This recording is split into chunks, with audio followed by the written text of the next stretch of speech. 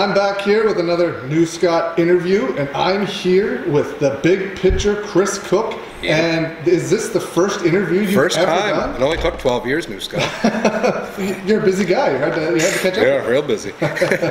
Uh, were you a fan of professional wrestling growing up? Not growing up, actually. I first time I recall seeing wrestling, I was likely, I don't know, seven years old, and it was WWF, and it must have been a feud between Bret Hart and Stone Cold, and they were in Canada. and I remember the Harts were singing the national anthem, and then Austin came out. It was like 1997. Was that 97? Yeah. So I would have only seen just that clip. That was it. And then I didn't watch wrestling until 2001. One time when I was grounded, oddly enough, I was allowed to watch TV. and the first match I ever seen was on SmackDown. It was Bubba Ray Dudley against Kurt Angle. Random how I know that. Angle was the champion. What, uh, when you first got into it, who did you enjoy watching the most? Oh, The Rock. The Rock. To this day, yeah, definitely. Still? Definitely. What uh, and what was it about professional wrestling that when you decided to get trained that it was? What was it about it that uh, you thought you could do it? Um, mm, it's hard. I don't know. It just I remember like being young and after I don't know four months of watching it, I was like, how do they do that? Like I knew, I knew that it was a work, but I wanted to know how it was a work. So I kind of was you know practicing with a buddy, and then I was like, okay, this would be fun to try. And also the other part that really intrigued me was the crowd involvement. Like I love the whole being able to get a group of people to react certain ways and have their emotions. Like I just like I love the showboat part of it. And uh, how did you go about find? You wrestled before you were trained. Yeah, I, I shouldn't say it. I shouldn't say it. It's like opening that Everybody dark door to Yeah. the truth. So when what I made you think that that was a good idea? Like what? What was going through your head? I just wanted to try it. Yeah. Like uh, the whole like storylines and characters and gimmicks and everything like that. I was like, this would be fun. I remember sitting down with two of my best friends growing up, and we would literally write out like we wrote out our characters and everything like a signature move, finisher move, and then wrote the storyline for what we were going to do. And then we collected. This is embarrassing to say.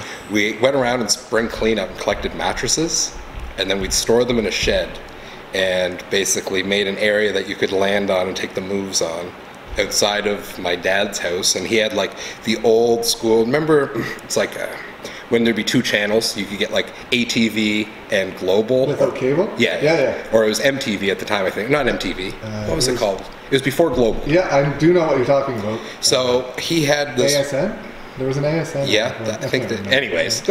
It was an antenna that went up the side of his house, but it was like a triangle ladder. So we always positioned our mattresses around there, so we had a top rope to do the moves off of. I didn't go up there, but. And anyways, yeah, we just kind of pieced it together and went from there. I shouldn't even say it because like the kids that would watch this, but like I remember we used to have seven, eight guys would come over and we'd have a whole show put together where actually people from the community would come with lawn chairs. Some of them, some of those shows happened here in the building Yeah, yeah. we're in tonight. No, this is before then. Oh, This is before this is like the three years before. Okay. Like I was like like 12, 13 So years what, old. what year was this? How old were you? 2002, Oh, okay. okay. 2001, 2002. Yeah, I remember I came here to a show in like 2005 or RCW. 2006. Yeah, River Yeah. City Wrestling. I still Yeah. got the T-shirt. Were you on that show? I don't think I knew. Uh, so I went to RCW. I remember RCW. Jason Holiday and, and Sexton Phoenix were on there as different names. Yeah. At least Troy was. Jason, uh, Tommy Scal, and Vincenzo Spinelli. Man, I got like the memory for all the old stuff. So I used to back to these mattress days. So we put everything together, and I remember like one summer I worked for my stepfather, and he was a farmer. So I did all his farming work. In exchange, he built me a ring instead of actually paying me. So then all of a sudden, at 13, 14 years old, we had a ring in my backyard, and we would practice. And it, it was a decent ring. The rope sucked, but I mean, it was a solid bump and everything like that. And then I seen posters for RCW, which was the local Jason Holiday was the promoter, yeah, right? yeah. And I remember I went to a show. I met Murph afterwards, and I literally was 14 years old and said I wanted to wrestle. And Murph at the time was a dick, and he was like, "Yeah, whatever, kid. You're too fat. Get out of here." it was his answer to a 14 year old. You're too fat. Get out of here. So, anyways, I kept messaging him on MSN at the time. Somehow I got his MSN. I think I emailed like the RCW Hotmail account saying I wanted to wrestle, and then he ended up adding me. That's hilarious. So he told me to come to a show early. I went down to a show early, helped him set up the ring, which the turnbuckles were telephone poles, awesome. And there's two ropes, and he taught me how to bump. Two ropes? Two ropes, and, Awesome. and it was like they weren't tight. Was this the ring that had all the tires underneath it? Yeah. Yeah. So it was the telephone poles with four sills that were built exactly how you would frame a floor. Yeah. And they would all I fit remember. inside. Uh, I don't even know what the frame was then because he redid the frame years later. Yeah. But yeah, there'd be two transport truck tires in the middle. That was the spring for the bump. So, anyways, he he taught me how to bump. It likely took him three hours, and my bump likely sucked. And then uh, I got beat around, but not like in a bad way. Like he just made me bump and front bump, which was the shits at the time. And I think I was a year going to his shows, just setting up the ring, and you know, like even though it was backyard, it's kind of like he was in with mainstream at the time, so I think he knew how guys broke into the business. Yeah. So like even though it was a backyard thing, which I know is no credibility, but he still kind of had those principles with me. And then I did a couple shows, but it was like I was in squash matches against a guy named Cuckoo Kalu. And he did a show in Cole Harbor. Were you there? It was at a church in Cole Harbor. Probably. There were so yeah, you were many, definitely there. like, It would have yeah. been from local guys. It would have been me, Troy, and Steve. Would have been the only guys that were like Steve Arsenal? yeah, that were on that show. And then what happened? Uh, we did the squash matches, and I think he kind of again did it to see if I'd stick around because Buddy beat the hell out of me, and like he didn't know what he was doing. He gave me a Samoan drop and killed. Um, then we did a show here.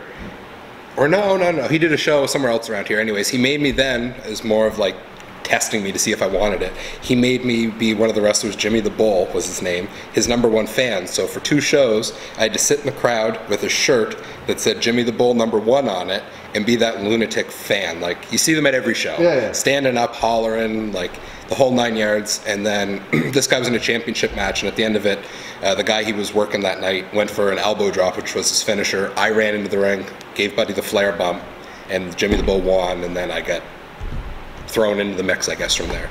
Uh, we did a couple tag matches, which actually ended up being Troy's tag partner.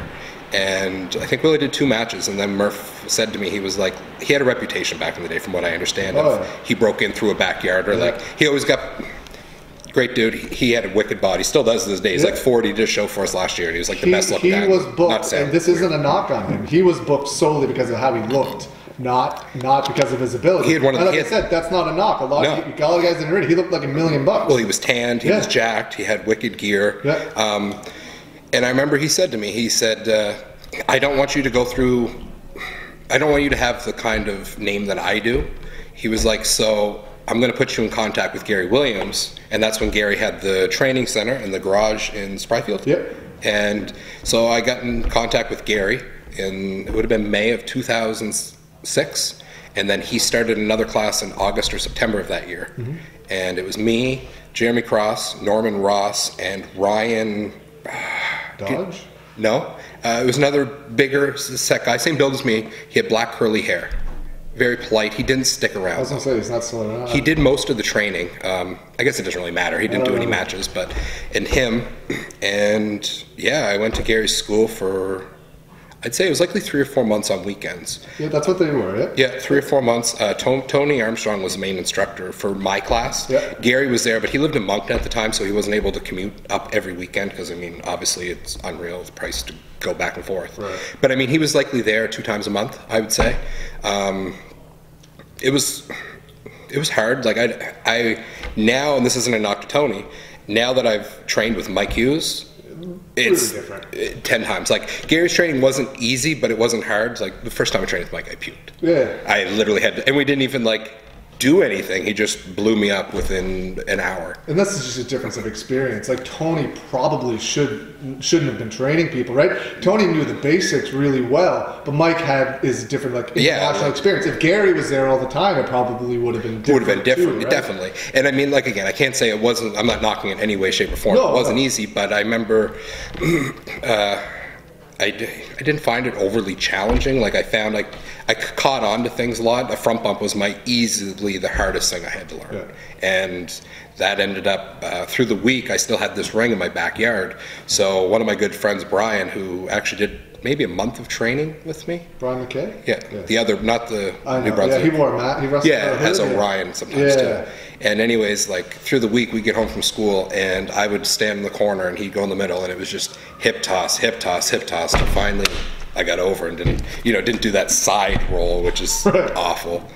Um, yeah, so then I just got trained by Gary, and was off to the races. How did you? Is that how, how did like what was the first actual maritime wrestling shows you attended? Like, did you attend any before Attend- you became uh, yeah. like not the backyard shows here? I used like to- Real Action or Yeah, I went to something? three, three or four real actions when they. They used to go to Truro. I don't know if it was every other week. It was probably every two weeks. I think so. Yeah. I used to go to a few of those shows. Like I remember one show I went to, Chi Chi Cruz and Bobby Roode were the main event. Yep. Um, the Sinners ran in, and Gary ran in, and uh, some other people. But I used to go to those shows all the time. And they used to draw in Truro. Like now, Truro doesn't overly draw. Like Yeah. they might get two to three hundred. But I remember like going to those shows, it'd be five or six hundred people. They drew fifteen hundred people in Halifax every two weeks back then. crazy, Like, it was like- insane at Exhibition Park. It would have been awesome to be a part, like, Yeah. so my generation of guys, it would have been so awesome to be in that generation to be able to, you know, be on an actual loop of shows with great numbers and. Frig, like for me, it's like frig. You'd have to really put the work in outside of the shows to look the part, and it was a lifestyle more so than a hobby. Yeah, in my opinion, you could have picked almost anybody off that roster and put them on television, and they wouldn't have looked at a place. No, You 'cause had- they were all You had Kingman, jacked up. Brody Steele, you had Mike Hughes, you had Bobby Roode, who's going to wrestle on WrestleMania in a couple weeks. Yeah, like, it's you had uh, Kurgan, who was just off of WWE television. Yeah. Like, and even the lower guys, like custom made, not lower in talent, but just like the smaller guys, Yeah. custom made man, Flesh Gordon, they all like looked. looked They were all the part. part. They- that, and that's the It was believable. They Yeah, came out and they didn't 100%. have to sell themselves to get over. They just got over They because like of their look. right? Yeah. Um, I went to a few Grand Prix shows, not as many because they weren't. By the time I was interested, I don't think they were running as much. Like I went to a Tatamagouche show, Right. um, and Gary and Duke were on it. Marco Like Estrada was on That's it. 2005. Yeah, Yeah. yeah, Marco Estrada was on it. Uh, Jeff Dupree, Evil. Eddie, yeah. Um, but yeah, that would have been likely all that I went to local. The WWF show in Halifax and stuff like that. You got trained, um, and how did you go about getting booked on your first set of shows? What were your first actual matches like? So after I got trained, at the time, uh, so Jason Holiday, anybody that doesn't know, like between him breaking me in, he also grew up with my brothers. So I think he, without me knowing at the time, had a bit of a soft spot for, for me. Right. And like even to this day, I kind of view him as a big brother. Like he just kind of helped me out Yeah. with my passion. Um, so after I got trained, he was working down in Maine a lot with Sonny Roselli, Larry Huntley. in the back of the restaurant, Dino's. Yeah, Dino's. You've been there. Oh, yeah. Awesome with the low ceiling. Yeah. So he, as soon as I got trained, he was like, "Hey, I can get you booked." There were they did three shows: Friday, Saturday, Sunday. Which Sunday was in the pizza joint, and we went down. The first match I had trained was me and Murph against Jason Rumble and is his name Eric Atlas? He wrestles for Chittick. Yep. Uh, he goes by something different now. 400. They are advertisements 425 pounds. Eric Johnson. now. Yes, Yeah. that's him. So that was my first match. Um, the next night, uh, I don't know how I remember this all. The next night, I worked Sonny Roselli, and I remember that because he called a spot for a back elbow. And, and at the time, I was 325 pounds, and when he gave me the back elbow, I legit did a backflip, and all I was trying to do was bump. Yeah. Yeah. Uh, and then the third night, I worked another guy, Chase San Antone, who's like a Chris. Chris. Santo. Short little bald he's short. guy. He's short, fat. I don't think bald. No. Um, I can't remember if he was bald. He was bald. he played like a country, like he came out to the country music. He had chaps on. He never worked very much down there. Yeah. Um, there was a guy named Chris Santone. It might have been him. Yeah. I'm not sure. Yeah. Um, and then from there, I went back again and did two more shows. Me and Murph worked one night, and then uh, I had like my initiation. I never knew. I guess Larry Huntley has a reputation with new guys. so they did me and Murph against. them? What's that? He chops him. Chops? Yeah. Oh, dude, dude. So I love. I don't love you, Larry. But anyways, um, it was me and Murph against Mark Moment Oh yeah. And I love Larry- Moment. Oh, yeah, he's the character. floor. Same. Yeah. And uh, so we did this dog collar tag match. So I think this went on without me knowing. It was Murph was attached to Mark Moment. I was attached to Larry. And it was like a tornado tag kind of rules. And the loser had to eat dog food. So me and Murph were scheduled to lose. And backstage, they switched the dog food can, like the label, with, like, I don't know, stew we went out for the match. They switched it back, so it was legit dog food. Anyways, during the match, and it's just because I was a new guy, dude. I I had acne here, and like Larry was literally like squeezing at my acne. He put me in the corner. He wrapped the chain around his hand, chopped me likely six, seven times with the chain. Gave me a snapmare, and I had hair at the time, unlike now, as you can see. Grabbed me by my hair, wrapped the chain around my forehead, and gave me an overhand chop right across the face. Like just oh. Beat me up. Um, but I don't hold it against him. Like I get it. I get that whole. Like why would I hold it against him? Do you know what I mean? It's Yeah. just. It's not like he was trying to like literally kick my ass, but he did in a wrestling way. Right. Um, so we lost. Uh, Chris Hamrick was on that show. So was Honky Tonk Man, Yeah. and everybody got a laugh because me and Murph at the end had to be on our knees, and they fed us what we thought was going to be beef stew, but it turned out to be dog food. It's kind of gross. Um, then when I got back here to the Maritimes, I remember I worked with Chiddick one time in Trenton as Cold Hard Cash Okay. against that Eric Johnson. Johnson guy Yeah. again. Um, and then from there, like I don't know, there was back then, and I don't mean this again as a knock for I guess not like a hatred guy, but there was like a, a clique in Halifax, not a clique, but it was like there was uh, Tommy, what's his name, Jeff. Jeff, Osborne. yeah, like Yeah. they were all good. There was there was a group of them. The guy basically it was everybody in Gary's school Yeah. for the first two classes, and I remember I was like, oh, they're they're good. They were at that next level, Yeah. and I think it was like part of me kind of being discouraged. I was like, Frank, these guys are getting booked everywhere. Frank, what am I going to do? And so at the time, this was not likely the right decision, but I was like, took a step backwards, and I had my group of guys that I was like backyarders with, and we started renting this hall. I got the ring off of Jason, did a bunch of changes, and then we ran into Burt Legion for two years. Right. And like back then, it's, it sounds weird, but like it's not a lot. But it's like we used to always get between two to two fifty, and we had storylines that were like yes, over the top. And like this day and age, I think you you wouldn't see them on indie shows like around here, anyways. Like it was totally against the tradition tradition of wrestling, but it worked. Like we always got 200, 250 people. Uh, it wasn't done right by like business standards because like at the end of the night it'd just be like open the cash box and split it amongst however many guys were there. But it helped when it, if there was ever not a draw. Do you know what I mean? Like Yeah, it wasn't. yeah, 100%. you didn't have to worry about going broke. Yeah. But it, it went good, and then randomly Sheldon McLean reached out to me in 2007 or eight. And asked me to be on an ECPW show, which, man, when you're only doing shows at the Legion and Domain, and all of a sudden, like, at the time, ECPW was the top promotion in. Atlantic Canada. And I was like, sure. And I went up there. I worked Peter Smith. Was that your first show? Were you uh, for ECPW when you worked? Yeah, that would have been my first. Okay. That, that was like June 2008. Yeah, you're good. Yeah. Or, yeah, yeah, it would have been June It was the one with like Joey Mercury and uh, Yes. and uh, Eugene I think was on that. No, Rhino, Eugene, Right. One of them. Joey Mercury was on it because he worked Titus. Titus, yeah. And Cat Power worked Dania. Yep, and then I, I forget who Mike worked that night. He was the champion. It was either Eugene or Rhino. I can't remember. I think it was Eugene. Yeah. And then, so I worked that show and worked Peter, which I was nervous, like as anybody knew would be or still would is today. Um, and I don't know. You could ask him how the match went. All I knew was I just listened and bumped. Uh, yeah, and then it was kind of off to the races from there. Like, So that that's how you got in with like Mike and Yeah, and that's that where I would have met them. Was through there. Yeah. How did you go? Um, okay, you you were trained in like 2006, 2007. 2006, yeah. There was a lot of big shows. That was kind of a hot time in in the Nova Scotia that's when. Chuck started up. Uh, likely the next year, 08. Oh wait, was when Chuck did Yeah. it. But there was like the Maritime Cup, and then there was the wrestling reality show, and then there was the wrestling reality tour. Now you weren't used on any of that. No. Did you think? Did you want to be a part of that? Did you try to be a part of that? I didn't have, I didn't know anybody then. Like when that tour went on, would have been when I was doing the shows here. So I never met Mike or Peter or any of those guys at that time. Yep. Um, I remember watching it. Like I actually remember asking my parents to get the Fight Network just so I could watch it. Right. But uh, yeah, like No, definitely. I, it never even went through my head. I knew that some. I know Troy was on it, and he was doing ring crew. Yeah. Oh yeah. For some of the shows, I don't know if he, he, did all. he he was on Ring Crew. Yeah, he, he didn't work any of the shows. okay, but there was no. I just knew. I was like, I'm not even. I had, I had no matches at the time, really. Right. Maybe six. Yeah, there was a lot of like uh, Troy wasn't booked, uh, Chris Madison wasn't booked. Those were all like Gary's students. Yeah. It was so then Chuck started up in 2008 Yeah. with Mike Hughes. They were I don't know if they were co-promoting, but it was I never it, did it, it was. Mike's ring. Uh, Mike made that ring He anyway. made the UCW one, yeah. Yeah, And, they did the PEI show with Honky. Yep. I wasn't on any of that.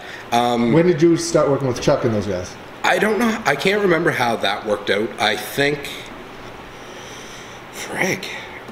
I think Chuck came to a few of our shows here. Yep. Because I remember like talking to Troy. Me and Troy, we go back to 2004, 2005, and excuse me, I remember trying to get him to come do the New Breed shows, but he d- didn't for a while because he's worried you get heat because of working with backyarders. But then he seen that, yes, they were backyarders, but I had guys that looked the part. There were some guys that were decent for that time era. They well, they were good for that time era. Um, and then eventually he came over, and so then Chuck heard about these shows, and he came down. And I remember talking to him, and he just asked me, he's like, "Hey, we're doing a show in Spryfield. Do you want to come up?" And I was most certainly. Uh, first time in Spryfield, I tagged with Alexander Saint against uh, Rector's his real name. Uh, shaved the R on his back. Rebel. Rebel, yes, Rebel and Haggerty, uh, and I think we did like two shows, and then, and both those shows, Mike and Pete were on those as well, and yeah, I, that's how I would have, I guess, got to know Mike a little bit better. Pete, I kind of avoided back then because I, was- I knew, Scared. yeah, yeah. Uh, everybody was. Uh, everybody still is. Um, you, I remember there was a show where you main evented at the Four Multipurpose Center against Yeah. Titus. I, I think it was for the first UCW championship. Yeah, uh, I believe you're right. Yeah, because he Chuck did a tournament Yeah. where the shows leading up to determined who was going to work Titus, Yeah. and he ended up pushing me to win that match, and then I ended up working Titus. And man, back then I was terrified. I was terrified. I was like, I don't know what I'm doing. I remember Titus wanted to do the Spanish fly, and I was like, that. luckily Mike heard it. Mike was like, just do the Hurricane off the top for a finish. Thank you, Mike. um, yeah, that was fun. It was. I forget what the crowd was like that night. Like It was pretty good. Was it a decent? They, they always drew decent, like back in those days at the, at It was the still hot Center. Yeah, it was still Yeah. really good. Chuck used to bring in a lot of names back then. I don't know if Marty Jannetty was here for those shows, but Not yet. I Not think he was more 2010. okay. Yeah. Yeah, it, they all like blur together. I can't remember which was when. But it was fun. Like I, I used to have a blast. Like uh, that's when Chuck used to do like Kentville and Liverpool and Yeah. Bridgewater, and it was a fun tour. Like he did Bible Hill one time. Bible Hill drew awesome when he had Al Snow and Honky and Luke in. yeah, he ran the form too with that. I think That was the same. Troy. loop. Oh, that was the same, Same loop. loop, yeah. Okay. But yeah, so then I worked with Chuck until 2011, I'd say, and then uh, two shows again in 2013 for him. Um, I picked up a lot of work in 2010 from Devin. Devin did uh, like Windsor. You were there Oh, yeah. when he had the guys from the states come up. Yep. Uh, You worked Mike. and Mike tried to throw a drop kick in that match. Do you remember that? tried, yeah. he drop kicked my knee. Um, but yeah, like I did those shows. Uh, literally just local stuff. I went to Newfoundland a few times. You did Doolittles a few times. Dave Doolittles. Yes. You worked. Uh, yes. I remember those. B guys- Machine was there. I worked him one night, and Earl Cooter. I was gonna say I was there. You worked. I think I was there for both of those. But back when those, uh, like, oh, I forget the German's name. Uh, Joseph von Schmidt. Yeah, and Cooter and Grimes was up for those shows. yes, yeah. You did the Bret Hart exhibition show Yep. too. Yeah. What are your memories of that? Uh, that was awesome. I remember at the time I was like, "This is." It felt larger than life. It was the first time I was ever in the ex- exhibition ground. it was What's the Exhibition? Park back Exhibition then. Park, I don't yeah. know what it's called now. It's something else. Um, I remember this first time I was there, and like just through hearing stories from the, you know, That's from the where real vets, action that's where went. real action went. So I was like, "This is cool," and like just that venue has an awesome, awesome atmosphere.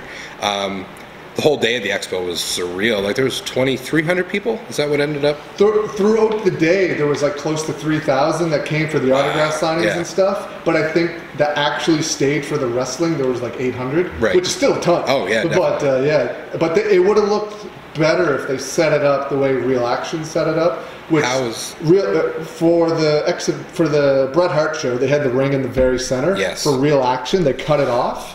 So Oh, that you would, and they had a giant black curtain. So you're at the blue line It. You were at the blue line Instead of center Instead of ice. center ice. So Gotcha, that way, okay, it would have been packed. There would have been no empty seats, right? and it would have looked so much better. That's but I mean, hey, it was a good show. I Oh, mean, it's I'm sure great, he was very successful with it. Um, that was fun. Uh, yeah, and did some work over in Newfoundland. Mike got me booked over there. Started in 2010 With I think. Legend City? Yeah, with Legend City. It was Dan and Clark at the time. That was a blast. Like I would have to say, I never had any. I never had a very big. Uh, career as far as like travel wise it was pretty much just Atlantic Canada and Maine. But I loved going to Newfoundland. Just the environment over there the crowds were awesome. Everybody that got booked over there was so fun to be around and it, you just you always look forward to who you were going to work. Is that something that you just weren't interested in, or are you interested in, like going overseas and wrestling, or down to Puerto Rico and stuff? Uh, Not now, when between the ages of 20 and 24, 25, definitely I would have loved to. But Did I just, just, not pursue it? I didn't, I think it was more, I was too nervous, too nervous, scared, whatever you want to call it. I was like, this is a long ways from home. Like I was, I think I was just worried about going over and getting chewed up, Yeah. spit out kind of thing. Right. But I mean, I don't know. It would have been. I'm jealous of like when you see Titus went over and Burke went over and Troy goes over, and it's like you see the success they have, and it's like, oh, that looks awesome. Yeah. I just never did it, and now I'm not really at a place where I could. Right. Right. But And back in 010, you the fourth Maritime Cup was in uh, Stratford Yep. PEI. Uh, you went over in that tournament. Yeah. Uh, what did that mean? To that was awesome. Like not to sound like a mark. when I'm looking at the trophy and has Bobby Roode's name on it, I was like, awesome. This is. This, I like again. I know everything's a work, but it was more like meaningful maybe than a championship. Yep. Because you know, there's Bobby Roode, Peter, Titus, and then me. Yep. And I think that's it. Still to this day, eight years there hasn't been one new Scott. 2037 is the next. All right. I'll only be like 50. Book me. That's all right. 49 actually. And then a couple years after that, uh, now Red Rock Wrestling is, in my opinion, draws the uh, most people, most consistent people at Yeah. their shows of anybody in the Yeah, country. it's- It, I mean, I don't think it's an opinion. I think it's fact. They draw the, the largest crowds the most amount of times uh, in Stratford PEI.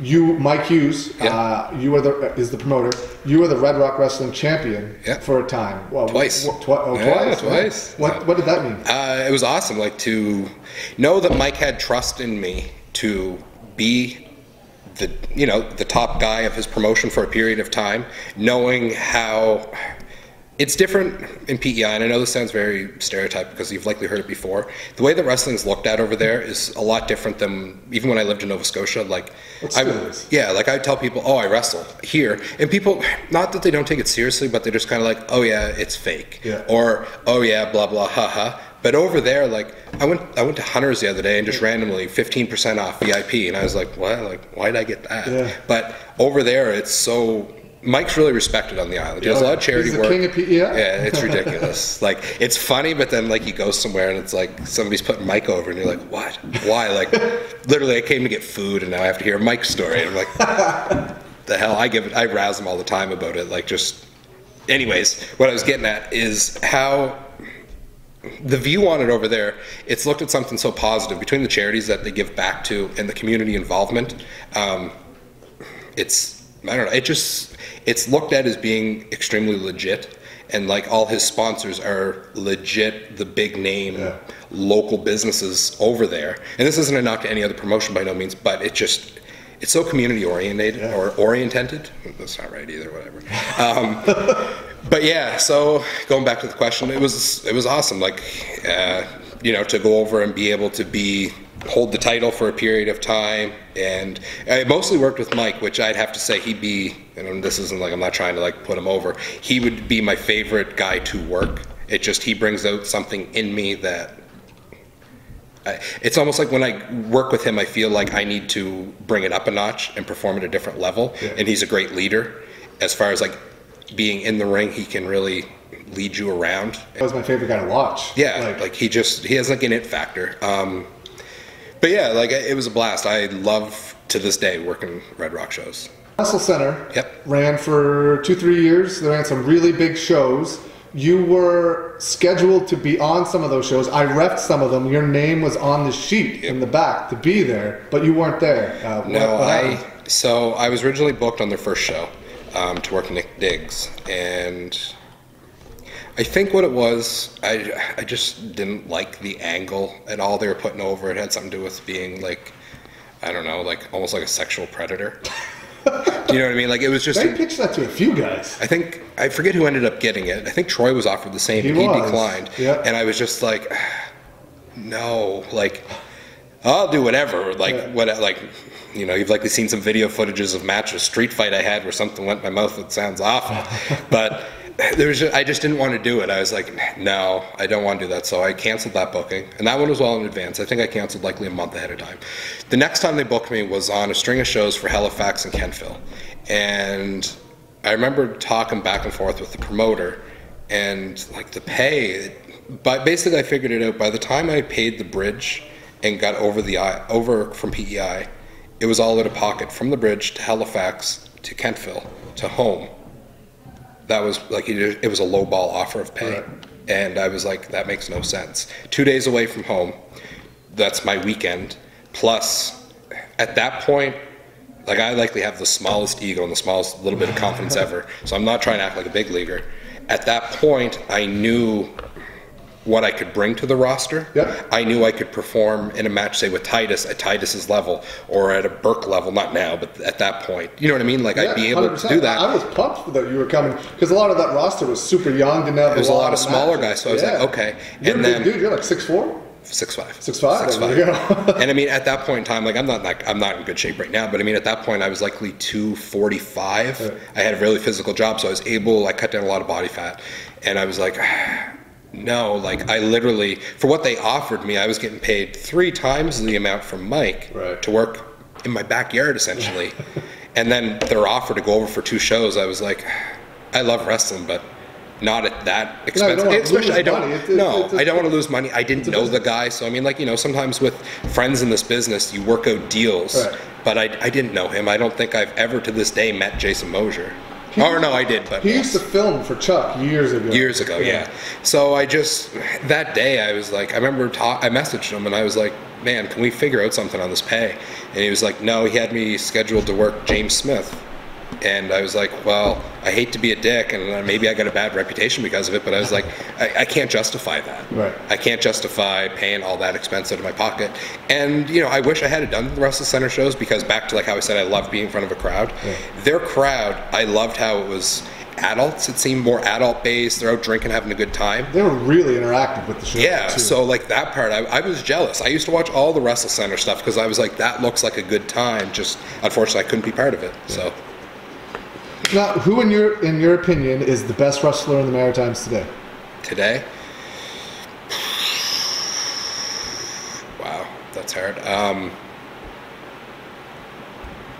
frick, I have it. I can narrow it down to three. That's fine. That's about it. Yeah. I would say. I know this comes up a lot. Mike, Pete, and Burke would be my answers. Like, I, I watch. I I'm that guy that I watch all the shows I'm not on. As soon as you or Mike Miles puts a video on, dude, I watch the entire show. Uh, Burke's matches, he's phenomenal. He never misses a beat. He's over as over gets. Um, Pete, he's you can't replace Pete. Right.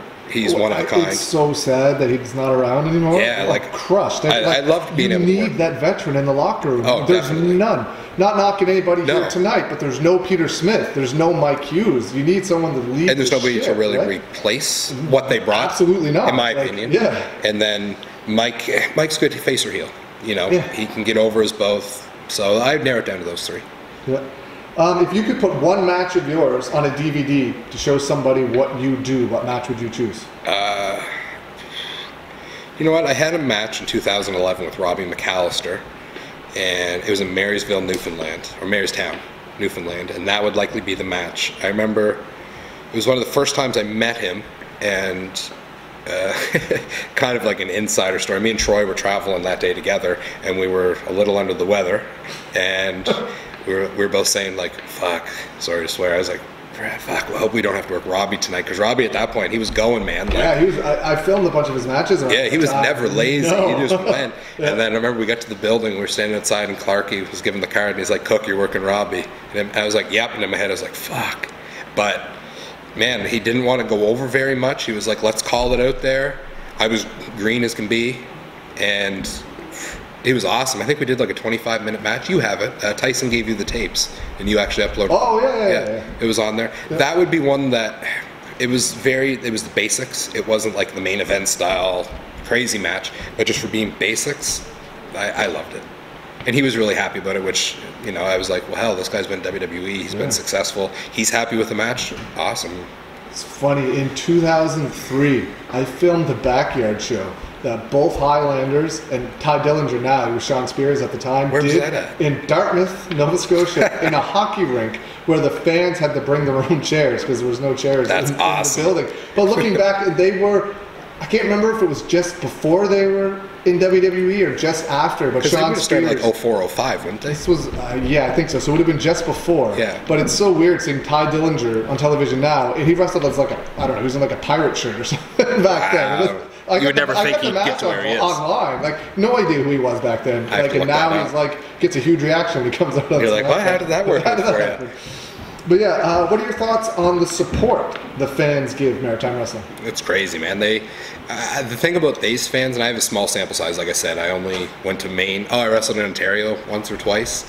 Uh, they're they get invested. Like they actually, for the most part, most towns they get extremely invested. And now I'm not on I'm not on as many shows as I used to be. Yeah, um, it's only Andre.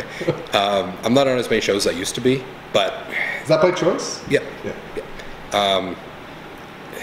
it seems like now you have fans that they literally they travel that no longer like now a fan from Halifax has no problem going to Moncton Yeah. and vice versa and it's like dude that's a three hour drive a three and a Yeah. half whatever it would work out to Gas be. ain't cheap. no and then they pay the price of admission and they stay and it's and you, you got to love fans like that because to new fans it helps the new fans learn or it helps you know what I mean? Who's good who's bad uh, who just just that I guess. It, it's a cool scene like the support they give and I mean especially with the merch. I know through talking to the guys some of the guys have awesome merch Yeah. sales like it, it just around here i find it might go back to like grand prix i'm sure it does is that it's almost like a family tradition for some people because it's this conversation they can have with their grandfather who used to go to all the grand prix shows and he'll talk about cuban assassin leo Yeah. burke all those guys and i think that's likely what it is we had such a booming area for our parents and grandparents and it's relatable maybe Yeah. and it's kind of a deep answer but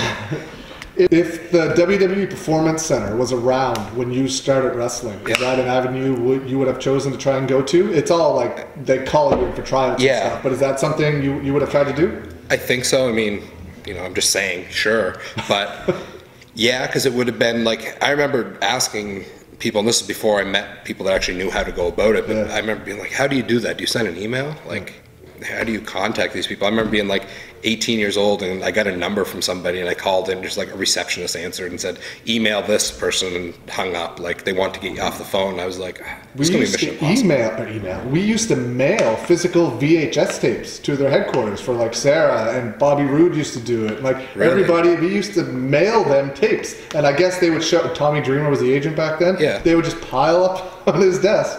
Wow. Yeah. Yeah. No, I don't know. I think now where it seems like it's more knowledge, like there's more, you can get more knowledge on how to get there. Yeah. Or like I think I heard this that you can actually pay for a tryout.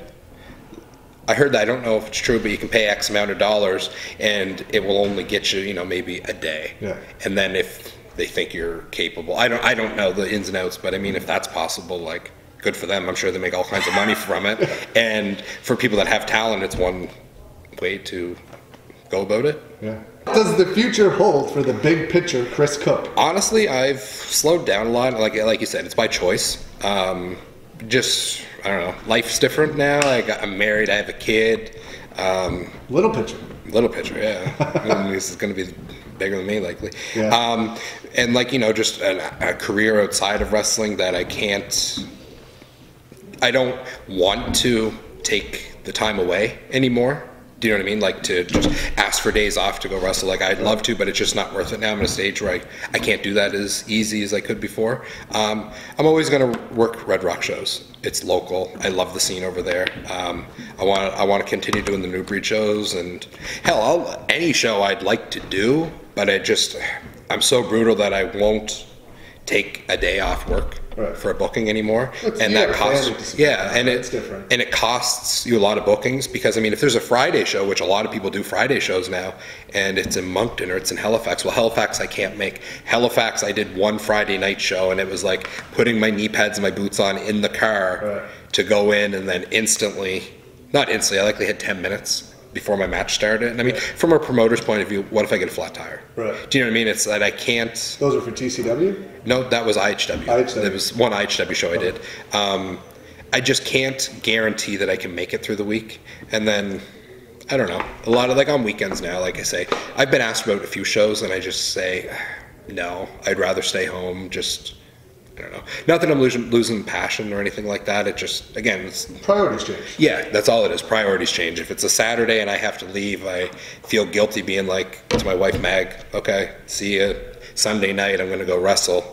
You know, have fun looking after our kid. Like, not that there's anything wrong with that. I'm just a very guilt-driven person, Right. and I don't like to do that. Right. So, I'm not knocking anybody that does, but it's just not for me, I guess. Do you have any closing comments for any friends, family, or fans that might be watching this? Come out to the damn shows. You see the posters everywhere. You see it on Facebook. You hear people all the time. When's your next show? When's your next show? They don't come. Come out to the shows. Just give it a try once. I mean, hell, Andre would like to hook you up with tickets if you ask him. Um, yeah, just come out, check it out. If you haven't been to a show, it's for all ages. It's good, clean entertainment, and right now the maritime scene is crazy good. Like, it's unreal. Like, like I say, I. Best it's been in years. It's best it's been since like the real action days. The talent might be a little different, but Yeah. it's, uh, it's catching fire again. Yeah, and like the, I don't know, like look at look at the numbers everywhere is doing right now. Every promotion seems to be getting high numbers with good quality talent. Like Chuck shows, you see Marco Estrada coming in, Tyson Dux, and um, Carter Mason. Is that his name? Yeah, he's coming the next show. yeah. Like it seems now there's a wider talent pool coming, so it's just getting on top of local talent. You're getting outside talent, just making it bigger and bigger and bigger and better. Yeah. So it's unre- It's hard to say what the future holds, other than good things for Maritimes. Well, I'd like to thank you for doing your first ever time. interview with me. Awesome. I really appreciate it. It, it. it was an honor, and thanks Oh. for your time. Thank you for including me on the new Scott interview list.